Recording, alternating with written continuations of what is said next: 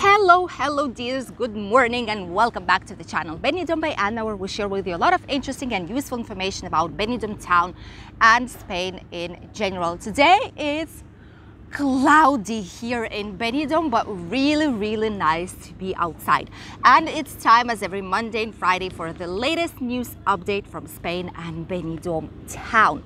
Today we have a lot to talk about. First of all, let's talk about the situation here in Benidorm. As you know already, yesterday I was filming for you the video that you've seen basically with a difference of one hour, where we showed you uh, how Benidorm is looking like on the 1st of September.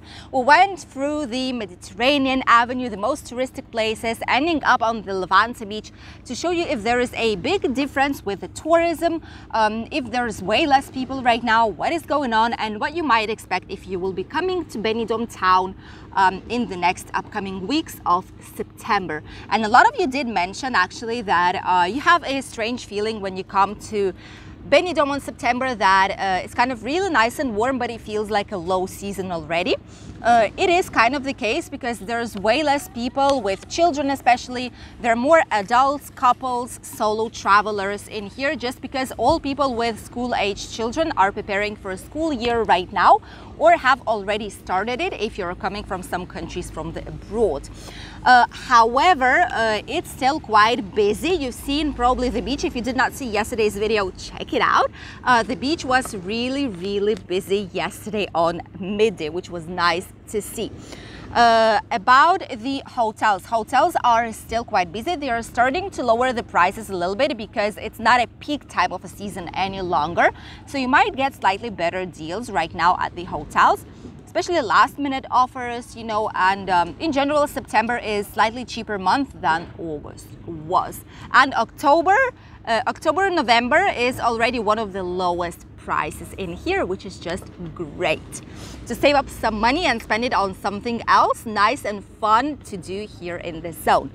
Uh, in general, there are still some uh, strikes here in Spain of uh, the company Iberia Express, which is the one that basically goes here inside of Spain. Uh, they still did not finish them because they um, did not get any valid uh, response from the company uh, asking what they wanted to have so they're still on strike. However, it's not affecting uh, tourists that are coming from abroad, which is great news. Um, apart from that, uh, EasyJet have finished already their official strike, the EasyJet pilot strike. So there are no changes any longer with Barcelona, Mallorca, and a lot of other areas. They're not affected anymore. So if you're traveling there, for example, um, your flights should be all good. Also, queues are decreasing at the airports, which uh, means basically that it's going to be way quieter. There's not going to be so, so many desesperating queues, you know, to pass through the luggage check or to pick up your luggage, for example, or boarding uh, once you will be at the airport, which is also really, really good. So everything is getting slightly downwards, you know, right now it's just the perfect time, as I already say, September, October is just the perfect time to come here to Spain because it's slightly less expensive um, in terms of accommodation. It's not as hot, excessively hot as it was during this massive heat wave in summer. Um, slightly less people, not so many queues at the airports, you know, it's just pleasant traveling. The next news that I wanted to share with you all is what is happening in Benidorm. What are the massive secret projects that Benidorm is doing? Benidorm in general is looking um, as towards the mirror to Miami. Miami is on the other side of the ocean, as they say, uh, and it's a similar town to Benidorm in terms of skyscrapers. It's similar, uh, slightly similar with the climate, you know, um, and of the model of traveling, which is why they look at Miami as a mirrored image to what they want to become someday.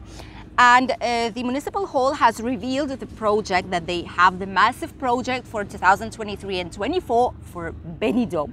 And number one part of it is to restore and refurbish all and every single of the hotels in Benidorm, which is amazing. I know that during the last two years of pandemics, um, 15, 20, more or less between 15 and 20 hotels have refurbished almost fully or at least partially their installations, their common areas, and some of them even the whole entire hotel from scratch. Uh, to be offer uh, to be offering quality tourism for uh, their guests because this is what people are seeking right now here in Benidorm. And even more, those hotels which are uh, newly built hotels, like for example, uh, the uh, Gold Arcos, you know, they've uh, took all the building away, the old building, and they almost built from scratch everything. And a lot of the hotels like this, what they need to check is the quality of their installations, the quality of the hotel itself, because this is something necessary to be able to obtain the license to build something or to reform something here in Benidorm. And as you could have seen during this year, we did some tours in the hotels, newly refurbished ones as well. We still have some pending to do during this autumn, so don't worry about it. Some more hotel tours will be coming out shortly. Uh, and uh, all these hotels, they are just amazing. They offer comfortable beds. They offer great exclusive service. You know, the inside areas are so nice, so relaxing. They offer so, so much. Obviously, the price is slightly higher, but um, it's just worth it to have a nice, relaxing, positive holiday. Uh, sometimes it's worth paying slightly more than that. So 2023 and 24 will be the years when even more hotels here in the area will be refurbished, which is just great. Um, another thing are the apartments and apart hotels and Airbnbs. These ones are not affected by plan, obviously, because these are small owners uh, a lot of the time, so obviously um, they won't need to refurbish. Uh, these offers will still be there, so people who are seeking for Airbnbs and for a cheaper holiday will be able to go to apartments, will be able to rent them. However, all the hotels will be on slightly higher level than they are right now so that um, as the municipal hall is planning i think which is what i thought for a long time they are willing to attract um, slightly higher um, level of tourism. They want to attract tourism that would spend basically more money in Benidorm. Um, and by offering higher prices in the hotels, basically this is what they try to achieve in here. Let's see how this will change Benidorm's dynamic uh, and if it will change it at all. Let me know what you think here down in the comments. The last news coming is from the lovely hotel Selomar which is the one at the end of the Levante beach. Uh, the hotel that's been uh, shut down for a really, really long time. Then uh, one of the companies undertook it. They had issues with the licenses. And right now, uh, finally, they've um, have all the licenses, they have all the permits, they are on halfway more or less to finish the hotel and it's going to be amazing. It's going to be a part of officially Group Barceló here in Spain, um, which is just great. So it's going to be available on their official website um, once everything is done and all the contracts are signed. Uh, and I'm going to put you some pictures of how the hotel was looking like uh, and what it will be in the future if I'll find these. Um, some time ago, they posted on how this hotel will be looking like and it's just amazing. On the first line of the Levante beach, right at the beginning of the old town, it's gonna be another gorgeous hotel without a doubt. Um, so everything is changing, Benidorm skyline is changing, Benidorm hotels are changing.